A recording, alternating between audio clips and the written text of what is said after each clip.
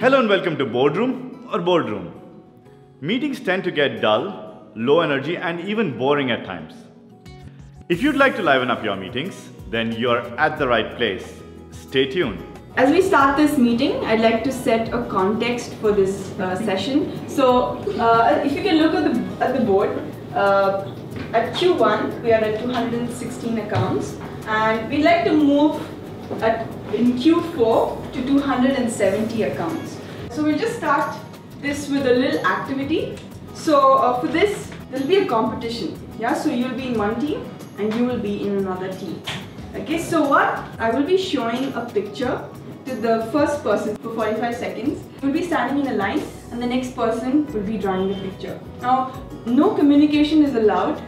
Okay, so each person gets 30 seconds to draw the picture, but the team that gets the picture closest to the original one will win. Yeah, understood? Any question, anyone?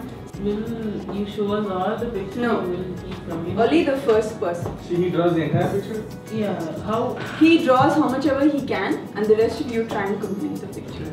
will he tell us? You cannot, no communication is allowed. Okay. Got it? Yeah, yeah. So can we begin? So we, can you all stand up and yeah, form two lines? Can you come closer? I'll show you the picture. You have some time to look at it, and then you have 30 seconds to, to draw. Yeah.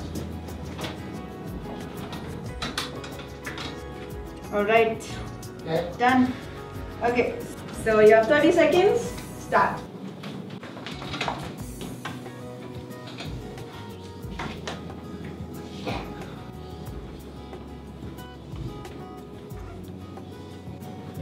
Okay, next.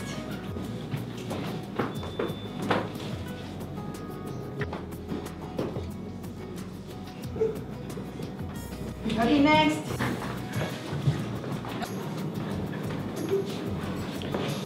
Next.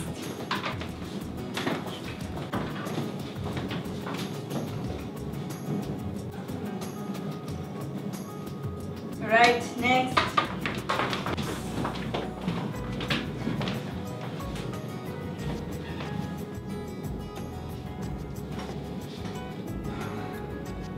Next.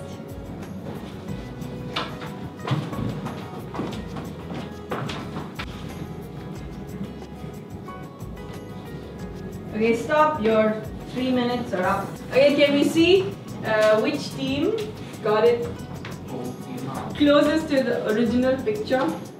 I think it is.